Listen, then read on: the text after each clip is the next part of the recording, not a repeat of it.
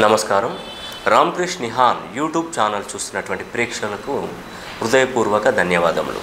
ఈరోజు కన్యా రాశి గురించి మనం తెలుసుకుందాం.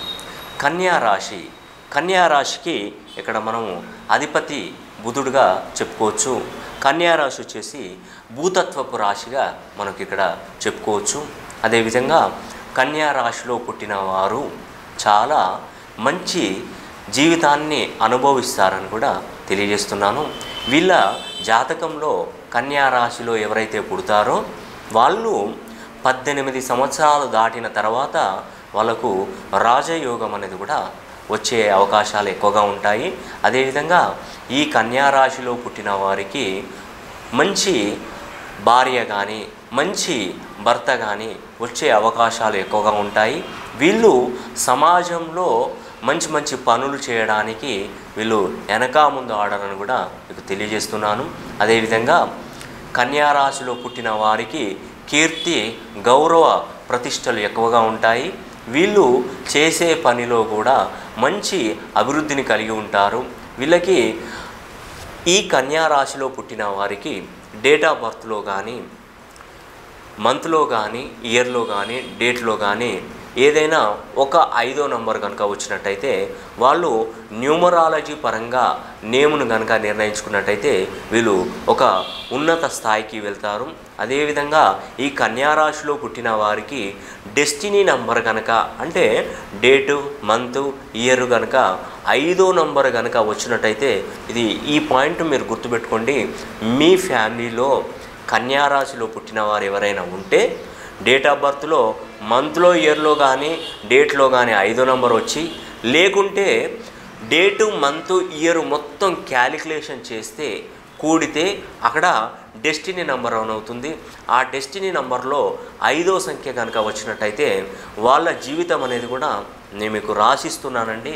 ఖచ్చితంగా వాళ్ళకి రాజయోగం వస్తుందని కూడా మనకి ఇక్కడ తాళపత్ర గ్రంథాలు ఇక్కడ మనకు చూపెడుతున్నాయి.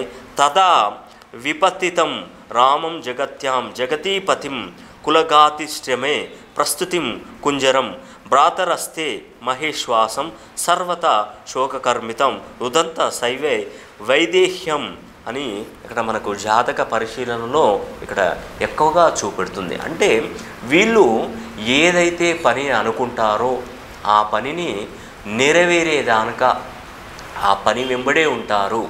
కన్యారాశి వాళ్ళు చాలా సమయస్ఫూర్తితో వ్యవహరిస్తారు. వీళ్ళు ఏ పనినైనా ఏకదాటిగా ఒక్కొక్క విషయాన్ని క్షుణ్ణంగా పరిశీలిస్తూ ముందుకు వెళ్తారు.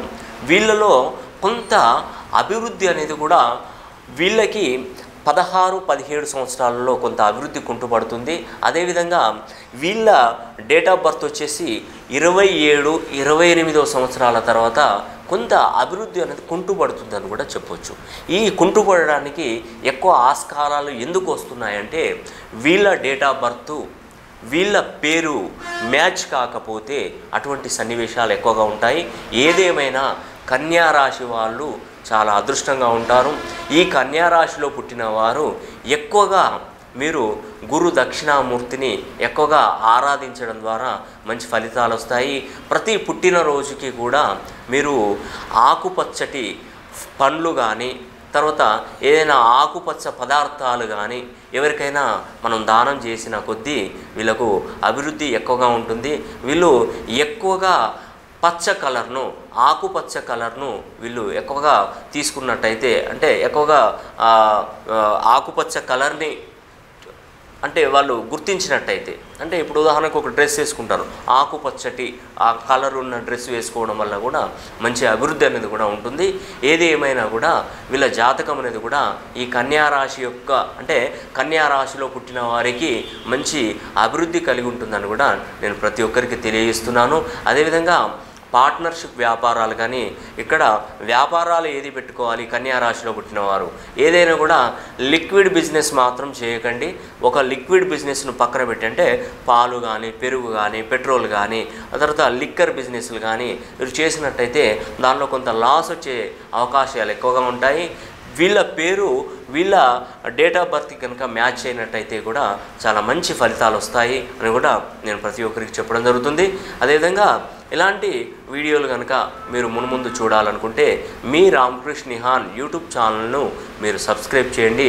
ఈ కన్యా రాశి గురించి మీకు ఎటువంటి సందేహాలు కలిగినా కూడా మీరు నా నెంబర్కి కాల్ చేసి మీకున్నటువంటి సమస్యలకు పరిష్కారం కూడా నేను పూర్తిగా వివరించగలను.